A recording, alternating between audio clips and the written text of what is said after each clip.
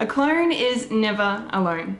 In its short run of just five seasons, Orphan Black proved itself to be a series never short of amazing moments. The clever and intricately written story follows Sarah Manning, portrayed by Tatiana Maslany in her Emmy-winning performance, after she witnesses a woman walk in front of a train. The twist? She looks exactly like her. This is a show that everyone needs to see. And if you haven't seen it, I'd suggest go do so now because we are officially in spoiler territory. I'm Kendall Richardson and these are my top 10 Orphan Black moments.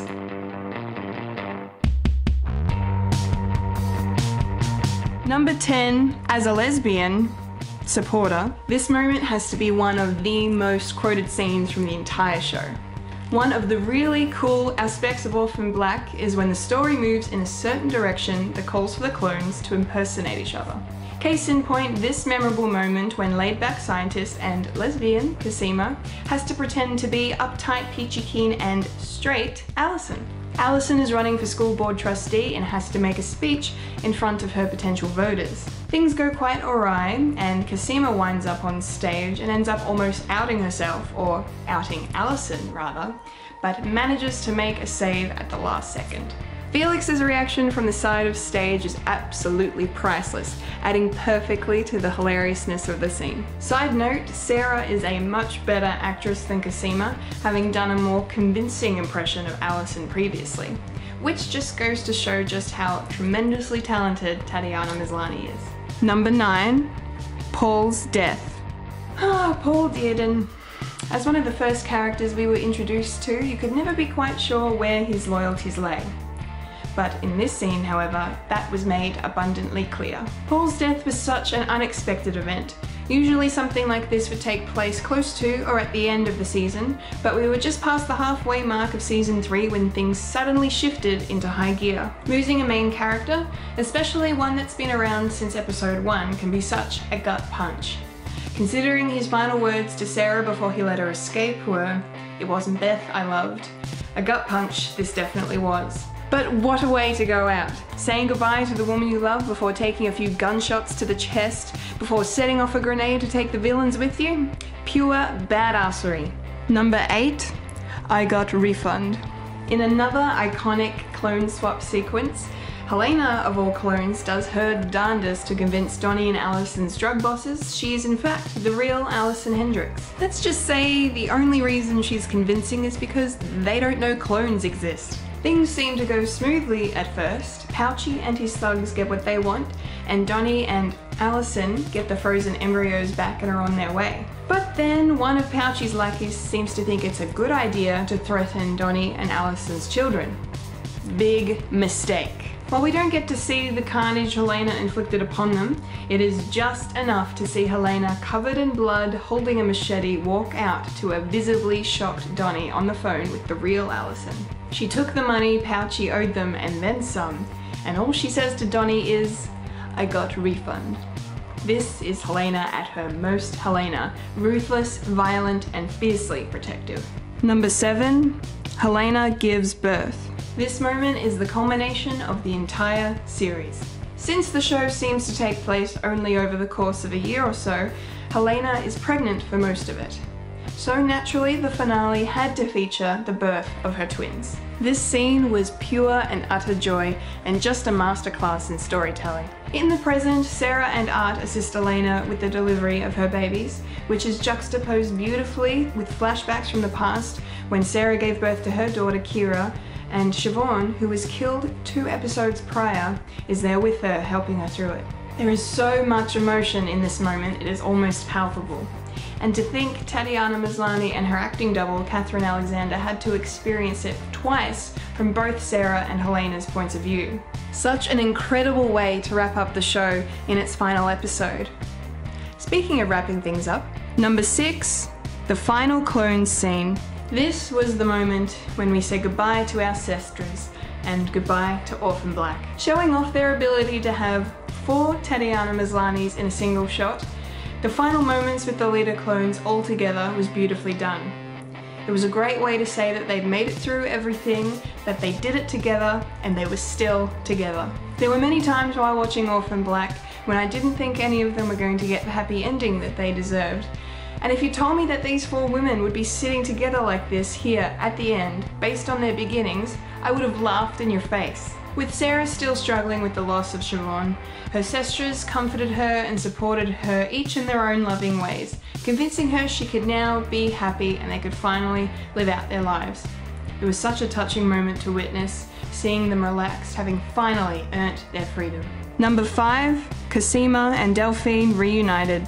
This was it, Clone Club. This was the moment that we'd waited all along for through the incredible season that was number 4. Cophine reunited, and it didn't disappoint. Cosima and young clone Charlotte had escaped Susan Duncan's compound after witnessing the villainous clone Rachel seemingly murder Susan in cold blood. The woods surrounding the compound, however, were thick, dark, and freezing cold. I feared greatly for both their safety, and they were on the brink of succumbing to hypothermia when they were discovered, thankfully, by the other residents of the island, and among them was none other than Cosima's true love, Dr. Delphine Cormier. Cosima had previously learned that Delphine may have survived an attempt on her life by Dyad slash Neolution, but she didn't know for sure. The pure shock on her face and the love for her on Delphine's face upon their reunion was incredibly moving. Shortly after this, Delphine saved Cosima's life by using her body warmth to ward off the deathly cold. Seeing the two of them together finally after all this time was the perfect way to finish up what I consider to be the show's best season. Number 4, Siobhan Sadler and Ferdinand's deaths. In Orphan Black, as character deaths go, this one definitely hit the hardest. Siobhan Sadler was Sarah and Felix's adoptive mother and the biological daughter of the one the clones were made from, Kendall Malone. S was badass, beautiful, protective, and the rock of all the clones throughout the entire series run. Unfortunately, her heroic actions put her in the crosshairs of Ferdinand, recently betrayed by Rachel and out for Siobhan's blood. Sadly, she saw it coming and left a goodbye note for Sarah and Felix, which Felix read out at her funeral. Just remember, my loves, death is nothing at all. I've only slipped into the next room. You can call me by my old familiar name, put no sorrow in your tone. I promise we will laugh at this difficult parting when we meet again. All my love, S. Siobhan went out as she lived, fighting for her chickens, and in her final act took the vicious Ferdinand with her.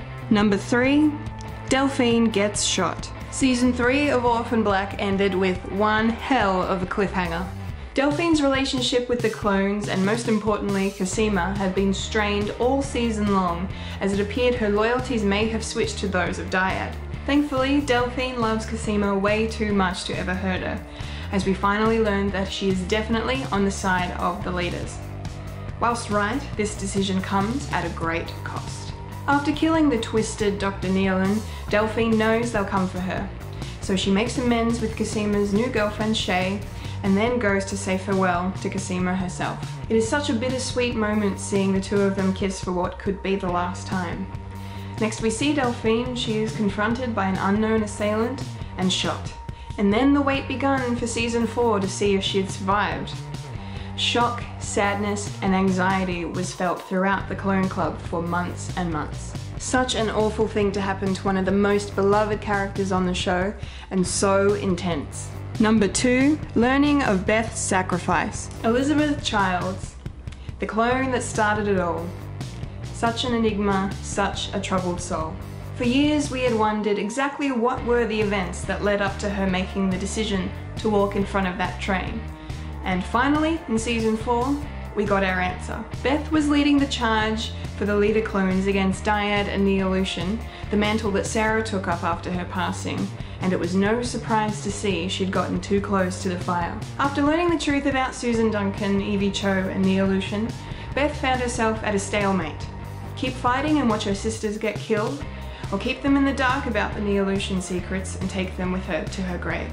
Sadly, Beth chose the latter, the moment was so powerful yet completely devastating.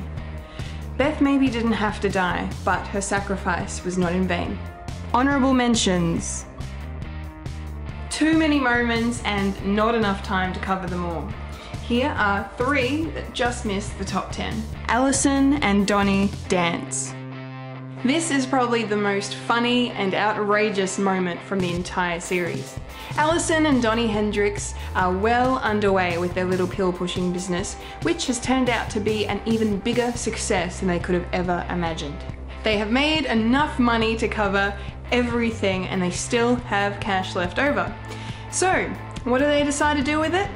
Blast gangster rap, and twerk in their underwear while $100 bills fly all around them. I kinda wanna see the conversation that led up to this so I can find out exactly how this came about. It is just pure fun and ridiculousness. Sadly, the moment ends with their poor daughter walking in on them, visibly shocked at the sight of her parents dancing on the bed like that. There's a story for their 40th wedding anniversary. Clone Dance Party.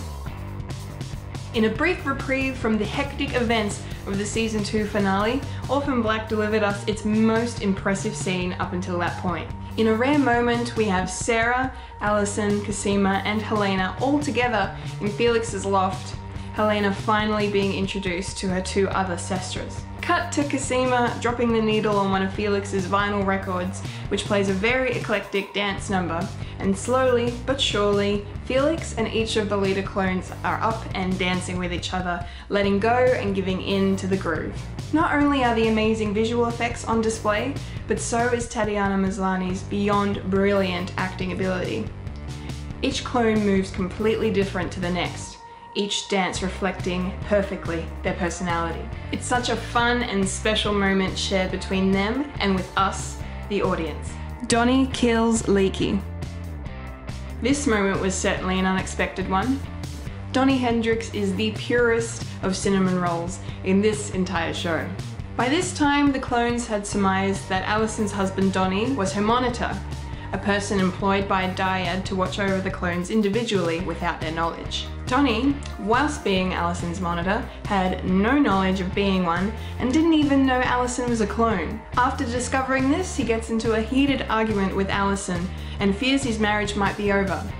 So he confronts Dr. Aldous Leekie, the man he holds responsible. This does not end well for Leekie, as in his rage, Donnie accidentally slams the gun down on the steering wheel of the car that they're sitting in, firing a single shot into Leekie's head, killing him. This left many of the viewers dumbfounded and shocked. Leekie had been a major antagonist in the show so far, so to see him go out in such a meaningless way was proof of the power the writers had over their audience. And my number one top moment of Orphan Black is the ending of the scandal of altruism. Season 4, as I've said, is the best season of the show in my opinion. But it is this episode amongst it that is probably considered to be the best episode in the entire series. Not only is this the episode in which we learn of Beth's sacrifice, but it is the episode where the Leda clones probably suffer their biggest loss to date. One of the antagonists of this season, Evie Cho, betrays her supposed ally Susan Duncan and destroys any hopes of a truce between them and the Leda clones. The original, Kendall Malone, is kidnapped and brought to the middle of nowhere.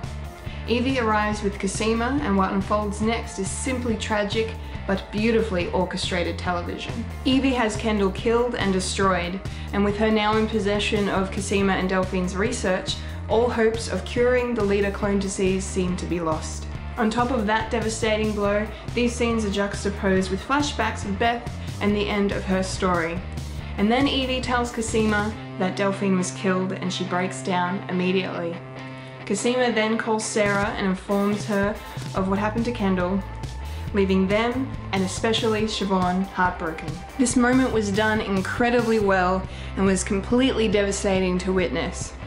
All hope seemed lost for our heroines, but thankfully things did get better and the clones lived happily ever after. My hats off to the entire cast and crew for putting this moment together and to Tatiana for bringing me to tears with her genius performances. And there you have it Clone Club, those are my top 10 moments from Orphan Black. Feel free to leave a comment below and let me know what you think and don't forget to like and subscribe for more videos just like this one. You can also find me on iTunes and SoundCloud as one of the hosts of the Friday Nights at Fred podcast and the Monthly at Winifred podcast. I've been a Kendall Richardson and you've just experienced collectible chaos.